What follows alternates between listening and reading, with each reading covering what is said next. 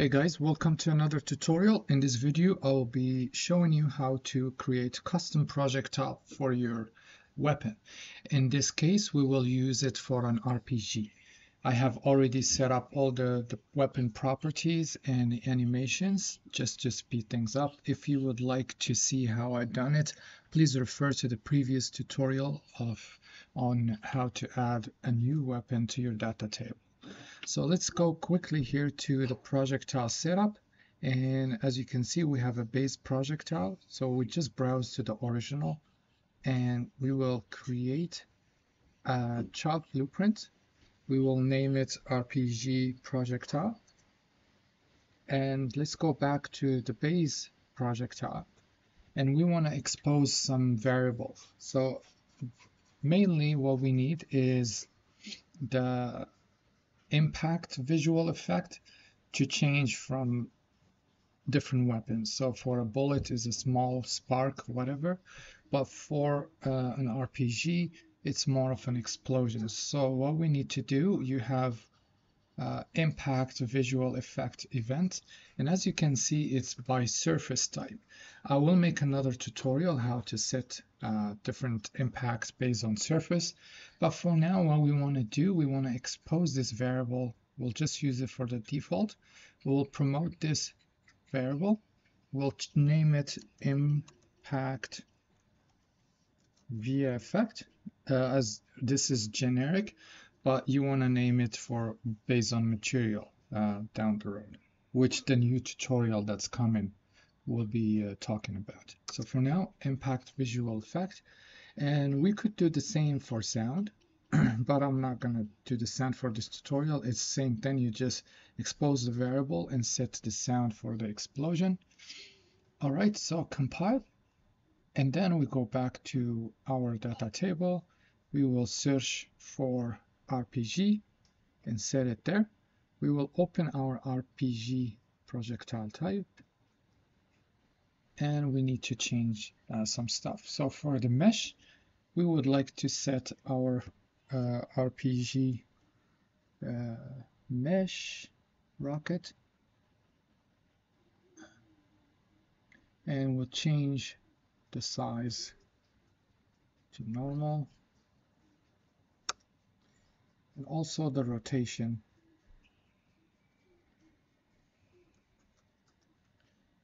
Properly. As for the trail, we want an RPG trail, so I have one. RPG trail. And we'll just set location 0, 0. We'll bring it back somewhere here.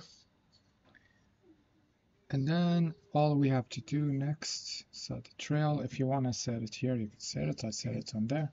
So now our, our RPG uh, is set. The other thing we can do is the sound.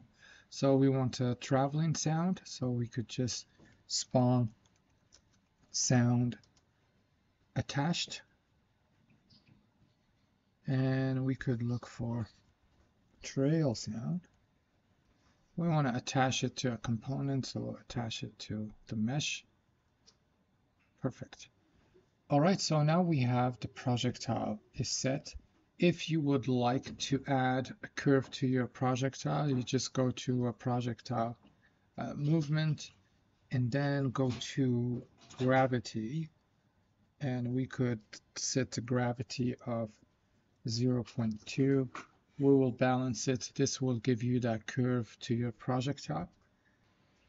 All right, next step, we have to fix our firing animation and the reload. As you can see, if I open the fire animation, we have the rocket is part of the weapon. So when we shoot, when we shoot the rocket, you'll still see it in the game like that. So we need to hide the rocket and show it back on the reload. To do this, we will create a, a notify. So we could just do it here, of blueprint, and we'll search for a new notify. And we will call it BP hide bone notify.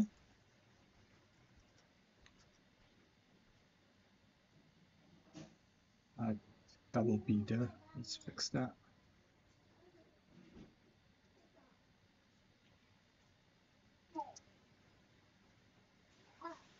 Okay. So what we need, we need a receive notify. So when we receive this notify, when it's received, we want to create uh, a branch if and we're gonna say we're gonna promote this to a variable. We're gonna call it should hide. Should hide. And if it's true what we want to do is hide hide bone. And the bone we're gonna hide we're gonna expose this to a variable.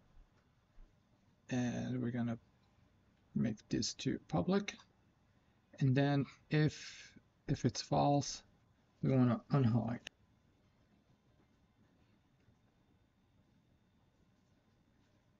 And then connect this to the return value and connect this to this. Perfect. Compile. Now let's go to our RPG firing.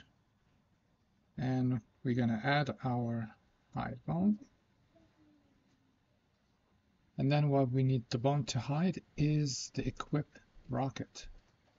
So if we copy the name, go to the notify,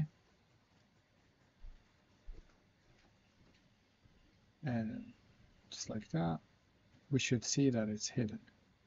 So now it's hidden when we fire, and we want to show it back when we reload. So we'll go to our reload montage and here we want hide bone and we want to uncheck this and put the name back again. So this time it should show. Perfect. So now let's give this a try and see if everything is good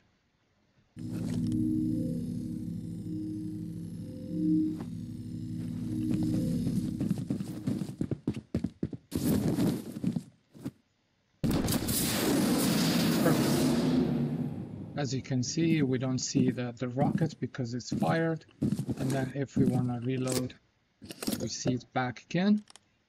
And the trail, sound, everything is good. So as for the explosion, we want to go to a projectile right here and look for impact visual effect. And here we will just search for our explosion RPG explosion, compile.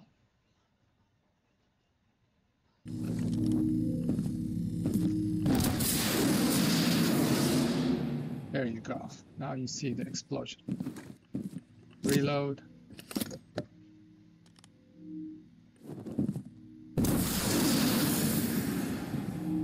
Perfect. Alright, I hope you enjoyed this tutorial thank you for watching and I'll see you next time.